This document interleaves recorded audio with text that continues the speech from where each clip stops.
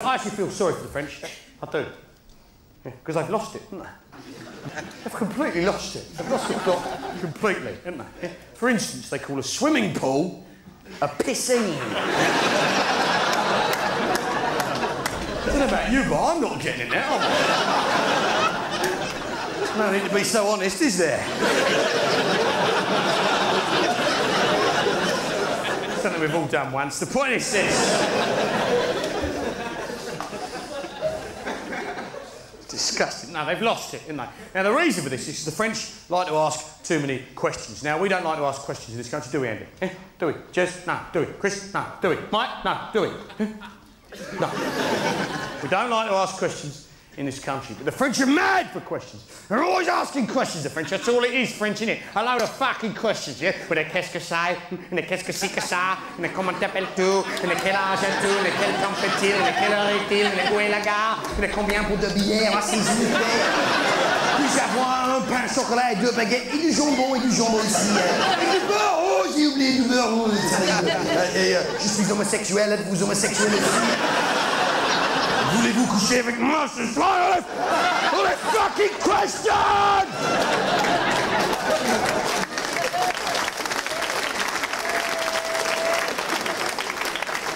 It's a madhouse!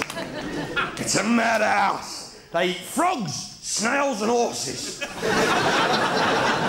disgusting, isn't it? Eh? No wonder the asylum seekers aren't stopping in France.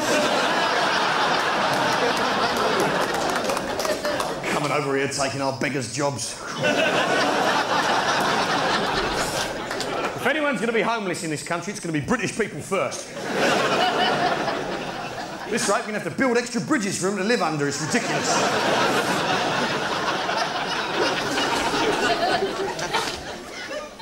now, we have the finest poor people in the world, don't we? Equipped with Sky Digital. That's right. But the French have lost it, haven't they? I mean, that Eiffel Tower, eh? You ever been up the Eiffel Tower, Jeremy? I have. You have, haven't you? What was the view like? It's okay. It's okay. No, mate, it was of Paris. if I could see London from the top of that thing, I'd be impressed. As it is, it's a tragic waste of fucking Meccano. As a result, French children have nothing to play with except themselves. How it starts, isn't it, Hecky? Hey?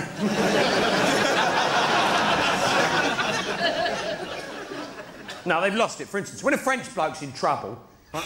when a French bloke's in mortal danger, trust me, I've tested this, he, he doesn't do what you or I would do, Andy, does he? No, when a French bloke's in trouble, he does something very strange, something very peculiar, something that suggests to me he doesn't really want to be rescued at all. Right? He's French, he probably wants it over with. The point is this when a French bloke's in trouble, he doesn't do what you and I would do. He doesn't shout out help, does he?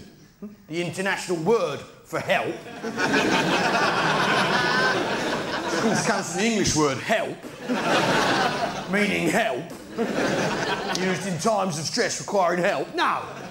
What does he do? He does something very odd, very different. He goes like this. He goes, Au secours!